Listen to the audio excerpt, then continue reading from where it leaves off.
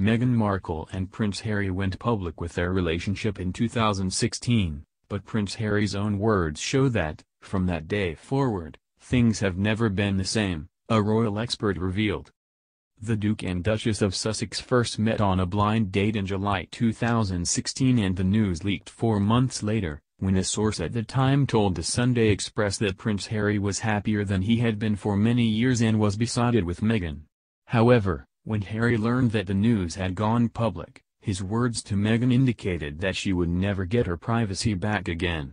Podcast Royals, from Australian magazine New Idea, heard from royal expert Angela Mollard in an episode that aired in May 2018. Ms. Mollard said that when news first broke of Harry and Meghan's relationship, a private secretary phoned and said, look, the word's out. This has leaked. She continued, he apparently turned to Meghan and said, things will never be the same again. He knew that. He knows what it's like, he's seen it with his brother, he's seen it with his previous girlfriends. I can imagine he felt a little bit of sadness that that privacy had gone. New Idea editor Francis Sheen agreed and said, they never get that back.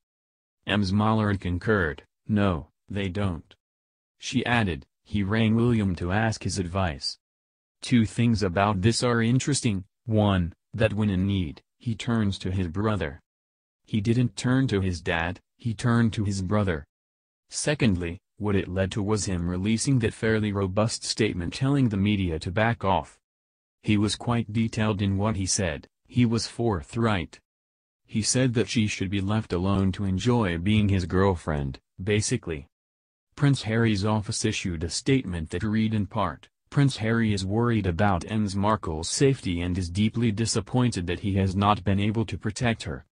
It is not right that a few months into a relationship with him that Ms. Markle should be subjected to such a storm. He knows that it is unusual to issue a statement like this, but hopes that fair-minded people will understand why he has felt it necessary to speak publicly.